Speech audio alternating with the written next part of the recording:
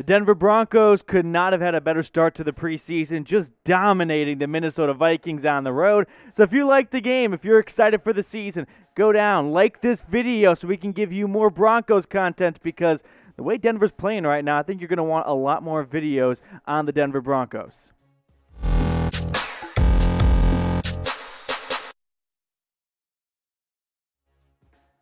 Welcome into the Broncos breakdown. I'm Matthew Peterson, and we're going to talk about this one because Denver took it to Minnesota. Just a dominating win to start the preseason all over the Vikings 33 to 6 the final score and everyone shined. I mean, there was not a single soul on that Broncos sideline that was not smiling from kickoff to the final snap, the knee down at the end. 33 to 6 the final. Lock edged out Bridgewater. We're going to dive into that later on, but he got the slight edge in this one. You check out the numbers for Drew Lock 5 for 7, 151 yards and 2 TDs.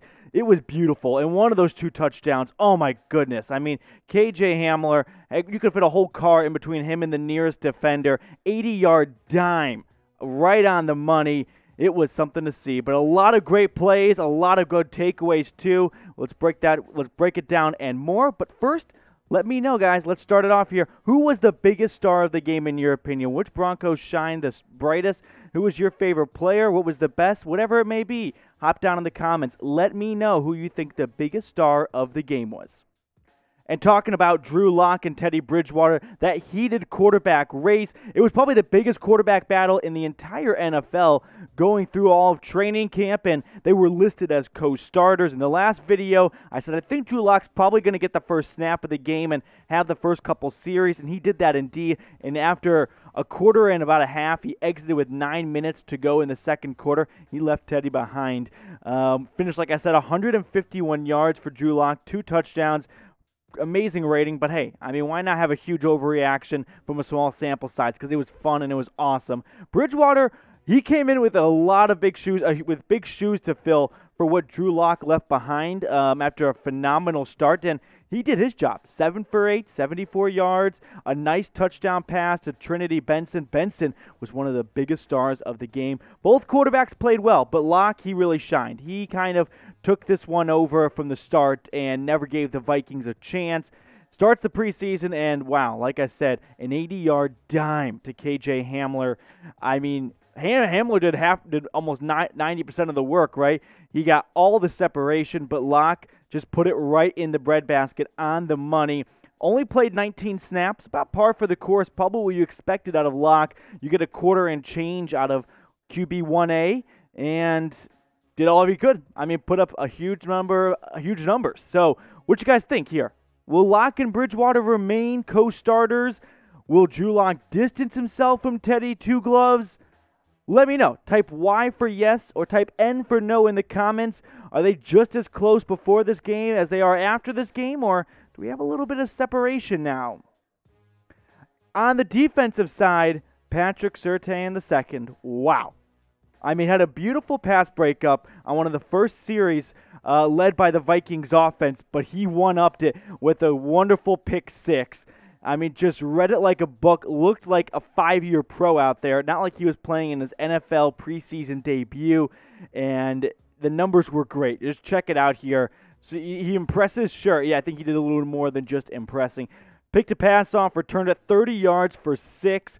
What a way to start your NFL career, even if it's not just the regular season just yet. Still, you're going to keep that ball. Uh, had some nice pass breakups, two overall. One was in the red zone, though. Started at cornerback. The Broncos sat a lot of key players. About a little over half the offense and defensive starters did not play. Bryce Callahan, Kyle Fuller, some of the bigger cornerback names. So that gave more room for Patrick, and PS2, he did it all. Two, bre- two pass breakups, an interception, and a touchdown. He's not keeping that game ball. He's sleeping with that game ball. That's his pillow now. He was just dynamite. Oh, I loved it. But what do you guys think? Because this was the big topic going into the season. Was that the right pick for the Broncos in the draft? Should they have gone quarterback? Well, after today, I think you liked what you saw out of Drew Lock and you loved what you saw on the defensive side. So, how are you guys feeling about the PS2 pick now? You still loving it? You still have a little more buyer's remorse after watching what Justin Fields did for the Bears in his preseason debut? Pop down in the comments. You know the drill. Let me know. Talking about rookies, PS2 is not the only one who had a brilliant performance. Javonte Williams, the second round draft pick out of UNC Chapel Hill, was all over the field. Only got a couple touches, but when he got the rock, he made it count. He was flying up and down the gridiron. You remember that first series, first play, what does he do? Just burst it right up the middle for a first down. He was all over the place. And now he's kind of making himself in contention for that RB1 with Melvin Gordon. The second round pick out of UNC, could he get the job? I don't know if he can win it in the preseason just because A, Melvin Gordon didn't even play today. So Fangio knows that. He also knows that Williams was going up against a lot of, you know, the second teamers for the Vikings, so he's not going to read too much into this. But I think Javonte Williams did do is he made himself known. There's a reason why you picked me in the second round. You know, he lived up to that expectation so far. That's all he can do. Once the regular season comes about, and then he's playing against some actual defensive tackles and DNs that are not going to let you just pick up 10 yards willy nilly, that's when the big battle comes about. So Williams, can he get that job? We'll find out. Maybe mid-season he could take it from Gordon, especially because Melvin Gordon's in that last year of his contract. I think the Broncos may be looking for a changing the guard at that RB spot. Other players that were just, I mean, simply put, excellent for the Broncos in their preseason debut. How about Trinity Benson? He was more of an under the radar guy, kind of a bubble player, trying to make this 53 man roster. And boy, did he make a case today. Check out his numbers right there four receptions, 36 yards, and two touchdowns.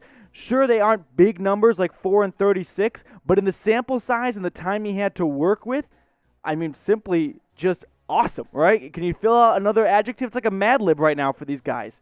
The whole game was just trying to figure out what's the best way to describe how awesome this game is going for the Broncos and for the entire fan base. And Benson, he put the team on his back a little bit. Two touchdowns, one from Lock, one from Bridgewater, uh, and just all around, he made a case for himself on that final 53 man roster. The one last note I want to mention about Benson this Broncos wide receiver room is pretty loaded, right? You got Courtland Sutton, you got Jerry Jeudy, KJ Hamler, Tyrie Cleveland. There's not a ton of room. So, what I'm going to say for Benson is what he just did today was he made the floor for himself if he continues at this rate, a practice squad player. That's what like the low is now. He may have removed himself from cut contention, and if he doesn't make the Broncos roster, what he just did today, the whole league watched. So he may be picked up by someone else if he gets put on waivers because the Broncos don't sign him to the 53 man roster. But that's just for Trinity Benson if you're watching. Broncos fans, I'm sure we'd all love to have him suiting up in Mile High this season. Now for some injury updates. Overall, the Broncos came away in a great position in terms of the training staff.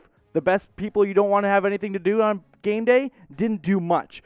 Except on the first play of the game, the actual opening kickoff, Trey Marshall went down with an ankle injury trying to make the tackle on the Vikings kick returner and came off the field, didn't get carted off, didn't look uber serious, but definitely didn't just pop up and jog off for a quick breather. So that's something to monitor right there for Trey Marshall. Also, LeVante Bellamy. He had an amazing a uh, second half kickoff return, over 50 yards, nearly brought it to the house, but he went down with an ankle injury as well in the second half. So, two ankle injuries take down the Broncos a little bit, but overall, I mean, no big injuries, nothing that's going to make you hold your breath or throw the remote inside the TV monitor or screen or whatever you're using to watch the Broncos. Overall, pretty good day health wise, to say the least, for the Broncos. 33 to 6 the final for Denver over Minnesota to start the preseason. Bridgewater returns to Minnesota for a second time. Did it with the Panthers last year. Got a standing ovation when he took the field again today, but the Broncos are the ones that walk away clapping in the locker room. 33 to 6 the big final. It's only the preseason. So I know it's really fun when you win, but when you lose, you go, whatever, it's the preseason. Who gives a damn? But when you win, you're like, that's, that's a big win right there, Jigga Buggy. Let's do it. So, what do you guys think about next week? Look ahead a little bit here. Broncos, Seahawks, Super Bowl rematch. This time Denver was the one that got that first safety um, for the scoring department. That's how they started the game on a holding penalty in the end zone. But that's coming up next weekend. Predict the score. Get down in the comments. Let me know. Broncos, Seahawks. What's the final going to be? Who are we going to see play? Let me know down in the comments.